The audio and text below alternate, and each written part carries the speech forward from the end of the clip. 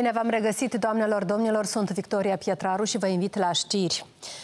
Soluționarea conflictului transnistrean, sporirea investițiilor și întărirea sectorului de apărare și securitate sunt doar câteva dintre direcțiile de dezvoltare a strategiei securității naționale prezentate de președintele Maia Sandu. Potrivit șefului statului, proiectul definește pericolele la adresa securității țării și direcțiile de acțiune.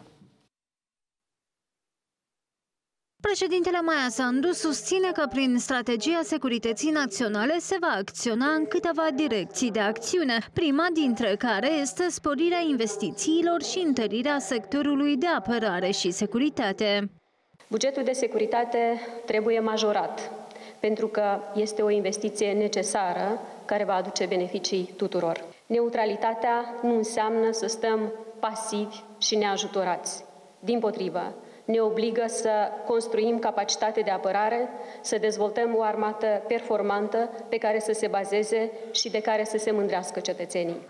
Amintim că anul acesta bugetul pentru apărare a fost majorat cu peste 600 de milioane de lei sau 68% față de anii precedenți. A doua direcție de acțiune, potrivit lui Sandu, este pentru progresarea graduală pe calea soluționării conflictului transnistrian, iar a treia direcție ține de dezvoltarea parteneriatelor de securitate, spune Sandu, cu cele mai dezvoltate și prospere țări democratice ale lumii, printre care și cele din UE.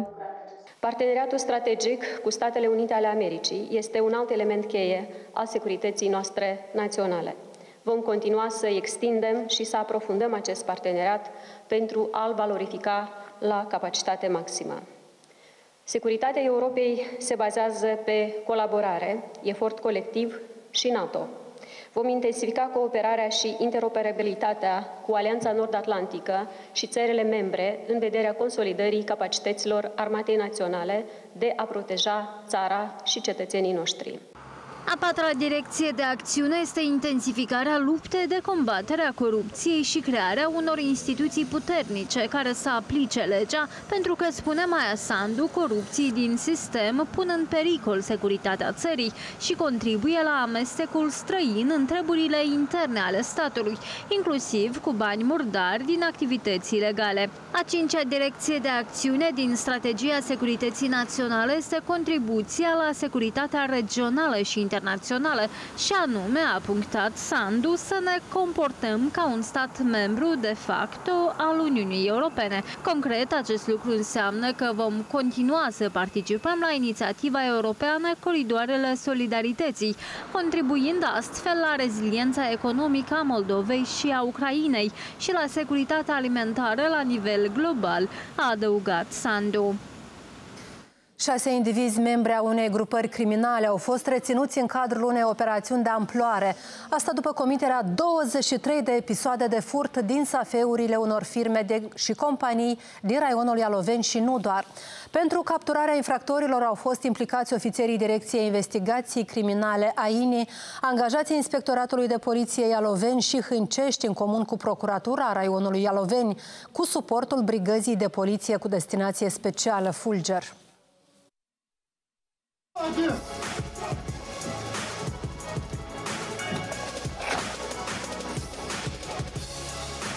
Potrivit ofițerului de presă al Inspectoratului General de Poliție, Oxana Tuderiță, în cadrul perchezițiilor au fost depistate și ridicate mai multe bunuri. În cadrul perchezițiilor efectuate la domiciliile și în unitățile de transport ale suspecților au fost depistate și ridicate mijloace bănești, rângi metalice, mijloace de comunicare securizată, precum și alte bunuri sustrase. Oamenii legii anunță că în total indivizii au furat peste 2 milioane de lei.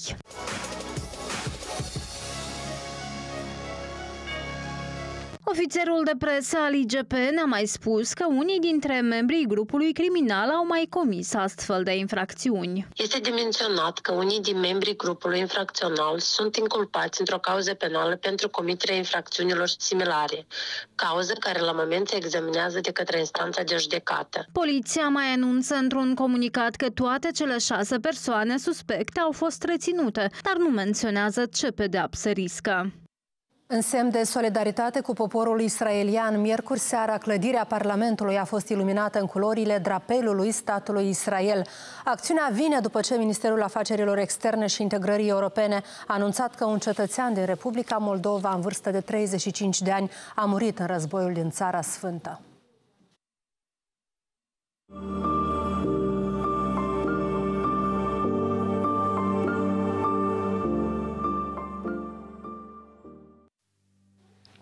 Într-un mesaj publicat de șeful legislativului se spune că Moldova condamnă public actele teroriste ale Hamasului. Ministerul Afacerilor Externe și Integrării Europene solicită cetățenilor Republicii Moldova să nu se deplaseze în Israel, iar celor care se află temporar să părăsească teritoriul acestui stat imediat. Totodată, responsabilii instituției au menționat ieri că 198 de cetățeni ai Republicii Moldova au revenit din Israel pe ruta Tel Aviv-Chișinău. Amintim că în dimineața zilei de 7 octombrie, gruparea teroristă palestiniană Hamas a început să bombardeze masiv Israelul. Conform estimărilor, în ziua respectivă asupra țării Sfinte au fost lansate peste 2500 de rachete. Pe 8 octombrie, guvernul de la Ierusalim a anunțat oficial instituirea stării de război pe întreg teritoriul țării.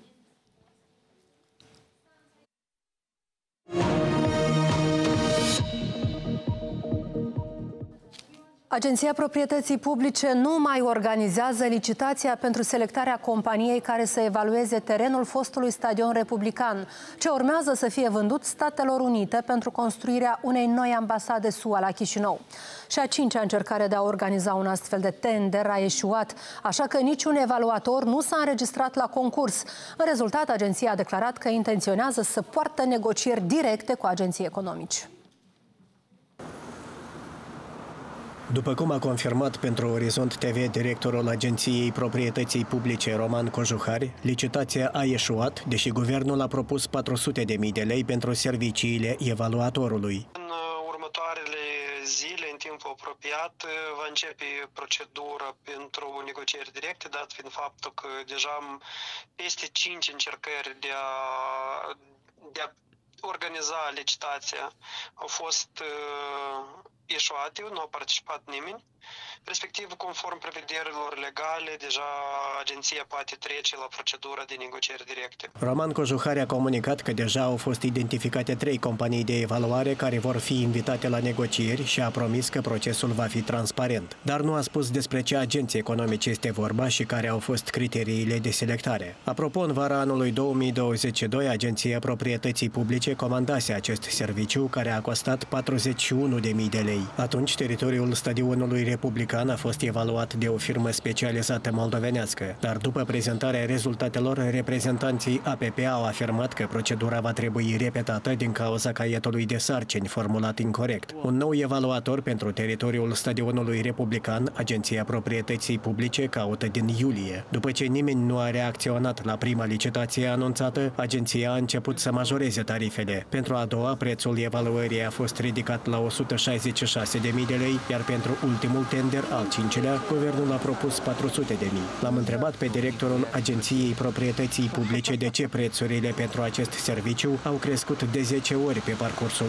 unui an de o diferență, noi vorbim despre o evoluție, deoarece a fost inițiat mai întâi cu 40 de mii, după asta a fost majorat la 60 de mii, a fost majorat la 160 de mii, la 230 de mii și la 400 a fost etapizat, nu s-a mers de, imediat de la 40 la 400, ori cum atunci când s-a consultat uh, piața și a fost uh, cerut uh, opinia evaluatorului care ar fi prețul pentru astfel de lucrare, s-a primit oferte că astfel de um, lucrări ar, costa, ar costa între 400 de mii și 700 de mii de lei. Anterior, până la anunțarea celei de-a cincea licitații, răspunzând la întrebarea Orizont TV dacă agenția planifică să majoreze și mai mult costul serviciului, Cojuhare a răspuns că nu sunt bani pentru asta. Nu putem crește prețul, este o achiziție publică, iar procedurile legale nu permit astfel de negocieri, a explicat directorul agenției.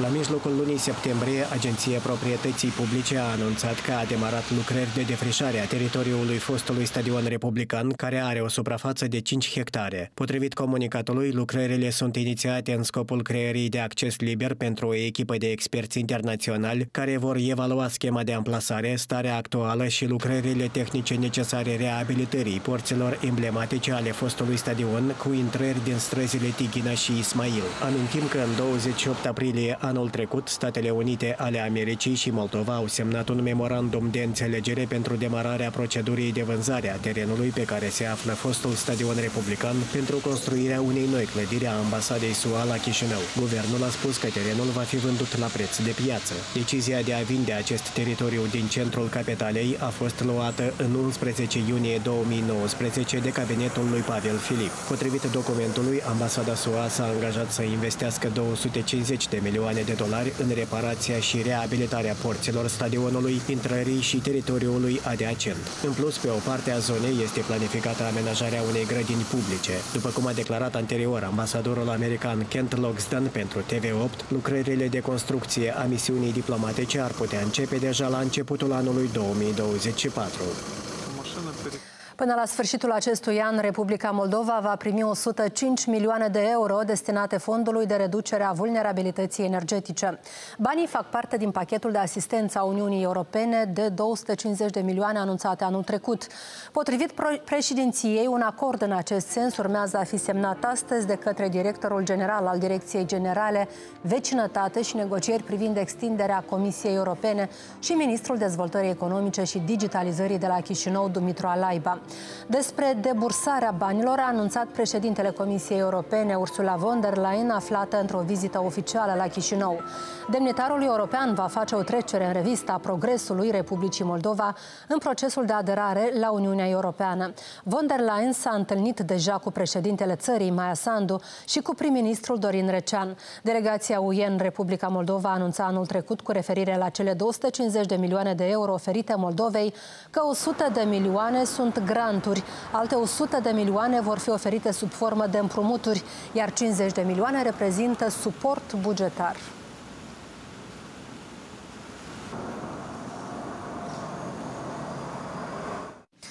Un moldovean de 56 de ani a murit zdrobit în interiorul unei betoniere în timp ce încerca să o curețe. Tragedia s-a produs în Italia pe un șantier de construcții dintr-un oraș în regiunea Emilia-Romagna. Pompierii și salvatorii nu au putut face nimic pentru a-l salva și acum anchetatorii vor încerca să stabilească ce s-a întâmplat. Rai News scrie că moldoveanul nu era angajat al companiei care efectua lucrările de construcție și nu este clar deocamdată cu ce fel de contract muncea.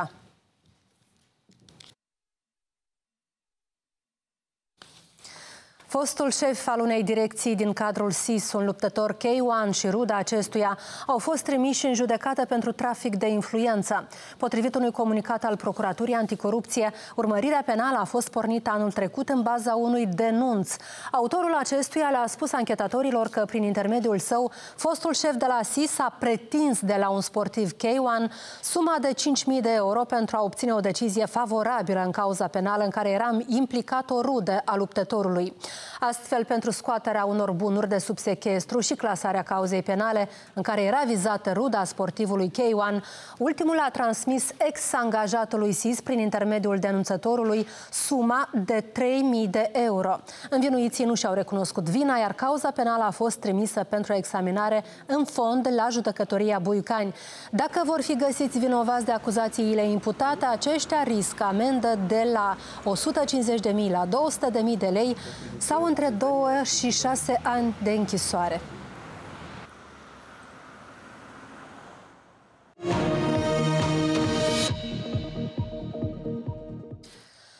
O altă dronă a căzut în România, la granița cu Ucraina, în cadrul atacului rus din această noapte, a anunțat Ministerul Apărării Naționale al țării vecine.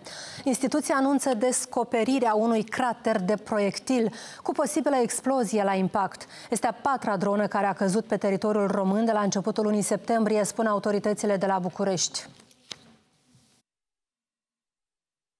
Potrivit Ministerului Apărării Naționale din România, în noaptea de miercuri, după ora 23, forțele ruse au continuat atacurile asupra infrastructurii portoare ucrainene în apropierea graniței dintre Ucraina și România. După detectarea grupurilor de drone care se îndreptau spre porturile Ucrainei, Ministerul Apărării Naționale spune că a activat în zonele specifice din județele Tulcea și Galați, aflate în preajma hotarului, starea de prealertă aeriană, care a încetat aproape de ora 2 noaptea. În baza informației informațiilor primite de la Poliția de Frontieră privind un posibil impact pe teritoriul României în proximitatea localității Plauru din județul Tulcea, în jurul orei 5 dimineața, echipe ale MAPN și alte instituții au descoperit acolo, într-o zonă cu vegetație, un crater de dronă cu posibilă explozie la impact, se arată în comunicatul instituției. Rusia a lansat în noaptea de miercuri spre joi un atac complex cu 33 de drone asupra infrastructurii portoare ucrainene de pe Dunăre, a spus comandamentul sud al armatei ucrainene europene. Guvernatorul regiunii Odessa, Oleg Chiper, a declarat că infrastructuri portuare și clădiri rezidențiale au fost avariate în atacul nocturn asupra regiunii Ismail, iar o femeie a fost rănită. Un scurt clip apărut online arată o explozie în Ismail, peste Dunăre de localitatea Plauru din România. Moscova nu a comentat deocamdată ultimul atac asupra Ucrainei. Anterior, Ministerul Rus al Apărării a subliniat în mod repetat că atacă doar ținte militare. Menționăm că în condiții de ostilități în Ucraina este imposibil de verificat exact exactitatea informațiilor furnizate de părțile beligerante. Între timp, raportul celor trei drone căzute în septembrie în România, în zone din județul Tulcea, a fost finalizat și înaintat parchetului general, a afirmat miercuri ministrul apărării Angel Tâlvăr la ora guvernului în Parlament.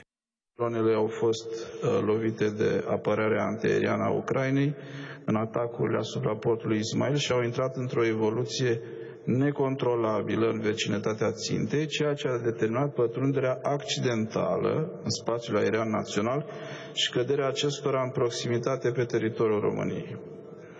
Uh, nu am uh, sesizat uh, intenții în, niciun, în niciuna din aceste situații. Teritoriul României nu a fost vizat, impactul fiind de natură accidentală.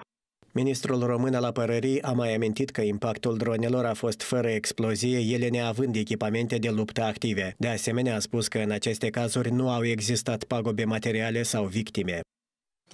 Un lot de ouă de găină a fost retras din comerț după ce experții ANS au descoperit salmonela în fecalele găinilor ouătoare. Potrivit Agenției Naționale pentru Siguranța Alimentelor, este vorba despre un producător din satul Târnova, raionul Dondușeni. În acest context, producătorul a rechemat de la distribuitori și din rețeaua de comerț toate loturile de ouă pentru consumul uman, care au termenul de valabilitate 9 octombrie-11 noiembrie. ANSA avertizează și îndeamnă persoanele care au cumpărat acest produs să nu-l admită în alimentație și să-l returneze în magazinele de unde l-au procurat și că toți operatorii din domeniul alimentar care dețin produse alimentare neconforme și care nu au luat măsuri de retragere a acestor produse de pe piață viață sunt pasibili de răspundere juridică.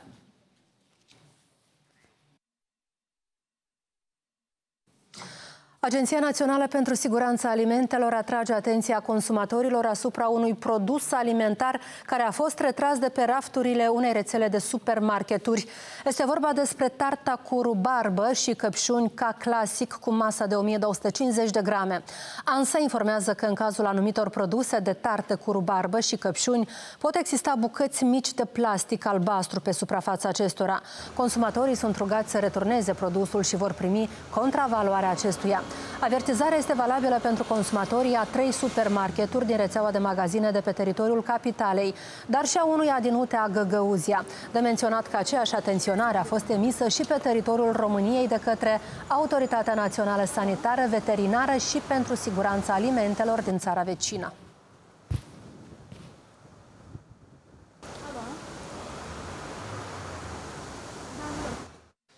Inspectorii de mediu sunt în căutarea unor indivizi care au împușcat un cerb nobil, specie protejată de stat.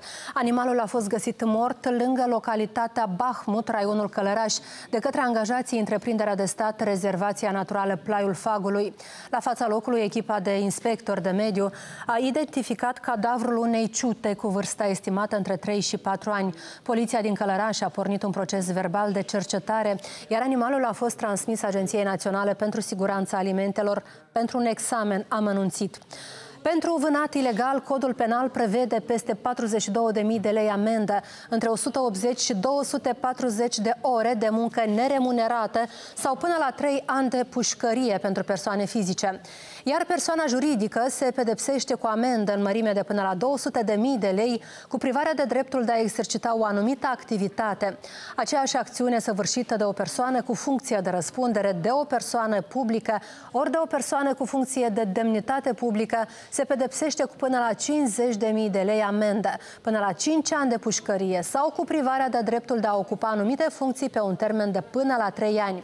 Menționăm că cerbul nobil este inclus în Cartea Roșie a Republicii Moldova. Este considerat o specie cu adevărat unică, datorită coarnelor care la maturitate pot ajunge până la un metru. Prin urmare, autoritățile de mediu atenționează asupra necesității protejării biodiversității și pledează pentru sancționarea fermă a unor astfel de acțiuni.